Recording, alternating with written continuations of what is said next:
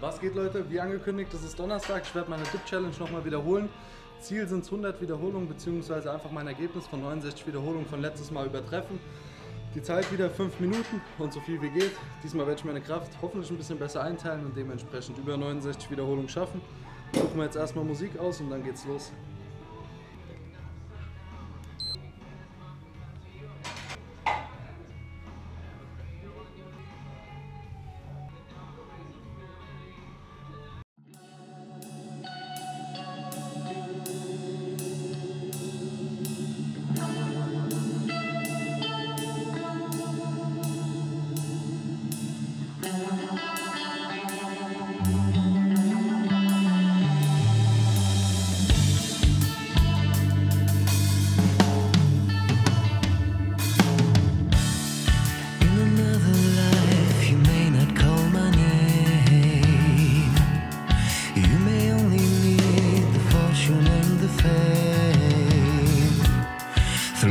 Darkest nights, I will follow you.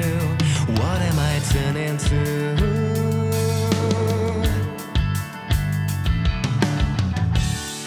Every place I've been since that I have seen. Now I realize what hurts me deep within. Every single wall I will break for you. What am I turning to?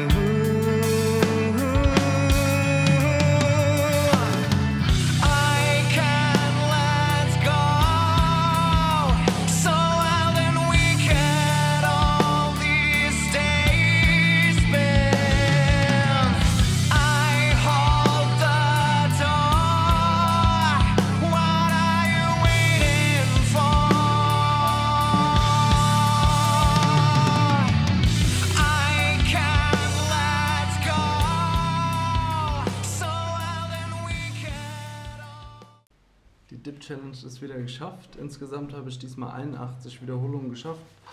Das bedeutet eine kleine Verbesserung im Gegensatz zum letzten Mal, wo ich 69 Wiederholungen geschafft habe. Aber mein Ziel von den 100 Wiederholungen habe ich leider immer noch nicht geschafft.